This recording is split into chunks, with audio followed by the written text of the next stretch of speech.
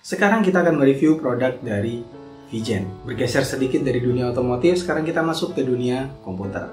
Yang mau nonton video lain di channel ini tentang otomotif dan lain-lain silahkan cek aja di channel ini dan jangan lupa subscribe. Vigen bermula pada tahun 1998 di Indonesia dan hanya berfokus pada produksi RAM saja. Siapa yang tidak kenal RAM produksi Vigen yang terkenal kuat, tangguh, dan tahan lama itu? Pasti sudah banyak kan teman-teman yang sudah pakai RAM dari Vigen dan biasanya harga RAM bekas dari Vigen biasanya lebih mahal dari RAM-RAM bekas dengan merek lainnya. Selama 4 tahun, Vijan hanya berfokus memproduksi RAM saja, mulai dari tahun 1998 hingga ke tahun 2002. Setelah itu, dari tahun 2002 hingga saat ini, Vijan sudah memproduksi berbagai macam produk, mulai dari SD card, memory card, flash disk, power bank, dan macam-macam hingga produk yang akan kita review saat ini yaitu SSD dari Vijan. Membahas tentang harga bekas produk Vigen yang lebih mahal dari produk-produk bekas dari merek lainnya, ada kaitannya dengan garansi yang dikeluarkan oleh Vigen. Garansi Vigen menggunakan sistem one-to-one replacement di mana garansinya berlaku seumur hidup dan produk Vigen kalian misalkan rusak ataupun ada trouble lain-lain bisa ditukarkan dengan produk baru dari Vigen. Yang penting stiker hologram dan juga produk dari Vigen tidak ada cacat fisik dan belum kalian apa-apakan. Garansinya juga tidak ribet, kalian tidak perlu menyatakan uh, kwitansi pembelian atau apa pun. Walaupun nama Vigen melambung tinggi dan dikenal banyak orang dan serta pernah heboh di zamannya, apakah dari tahun 1998 hingga saat ini Vigen baik-baik saja dan lancar-lancar saja? Uh, tidak ada banyak sekali hal-hal negatif dan positif yang terjadi di Vigen dan juga ada banyak pro kontra dan juga gosip-gosip yang beredar. Tapi persetan dengan itu semua, mari kita review produk yang satu ini. Ini adalah SSD Platinum dari Vigen yang memperingati 20 tahun Vigen di Indonesia. SSD ini dikeluarkan pada tahun 2019 dengan harga yang cukup murah. Ada banyak sekali dan macam-macam harganya, seperti yang ini 256 GB harganya itu mungkin di sekitar 400 ribuan dan bisa lebih tergantung dari marketplace-nya. Sekarang ayo kita nilai SSD-nya. SSD ini adalah SSD Platinum dari Vigen. Ada tertera di sana ada hologram Vigen 20 tahun, memperingati 20 tahun Vigen di Indonesia.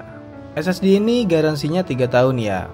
Uh, saya melihat ada garansi 3 tahun di SSD ini seperti berbanding terbalik dengan informasi yang saya dapat kalau garansi Vigen seumur hidup dengan sistem one to one replacement.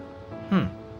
Mungkin garansi itu hanya berlaku untuk produk RAM Vigen saja ya atau produk lain dari Vigen. Tapi ya sudahlah, yang penting produknya bagus dan tahan lama. Di sini bisa teman-teman lihat saat video ini dibuat SSD Vigen ini saya sandingkan dengan komputer saya dengan motherboard Gigabyte H81M dengan prosesor Core i3 4160 RAM 8GB dari Vigen juga dengan kecepatan 1600 dan VGA GT730 ya entah nanti di pertengahan apakah uh, kombinasi semua ini akan berubah atau akan bertahan cukup lama hingga video selanjutnya saya upload yang pasti produk dari Vision ini akan saya uji ketahanannya, ketangguhannya dengan ya pekerjaan saya di editing video dan juga di gambar bangunan, mungkin gaming juga dan lain-lain. SSD Vision ini akan saya pakai sepenuhnya di sistem tanpa adanya copy paste data dan hanya berjalan di sistemnya saja. Di sini saya tes menggunakan Crystal Disk. Bisa teman-teman lihat kecepatan baca dan kecepatan tulis dari Vision kecepatan baca dan kecepatan tulis ini sangat lumayan sekali. Ya kalau dilihat dari harganya yang juga tidak terlalu mahal masih ada yang lebih mahal dari ini.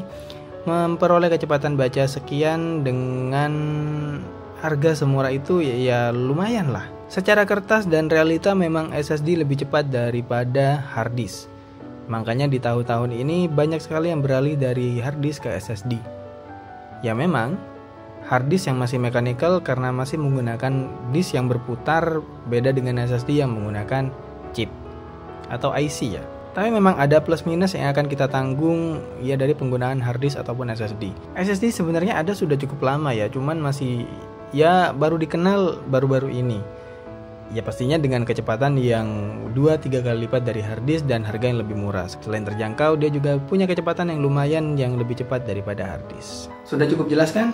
Video ini tidak akan berakhir di sini saja, melainkan video ini akan berkelanjutan. Akan ada update video selanjutnya tentang produk Vision ini, apakah dia akan mengalami penurunan performa setelah saya pakai dan saya siksa, ataukah dia akan bertahan baik-baik saja. Dan ketika memang ada problem, misalkan produk ini ada masalah dan saya klaim garansi, apakah benar garansi one-to-one replacement itu akan berlaku atau hanya sekedar gimmick marketing saja? Kita lihat.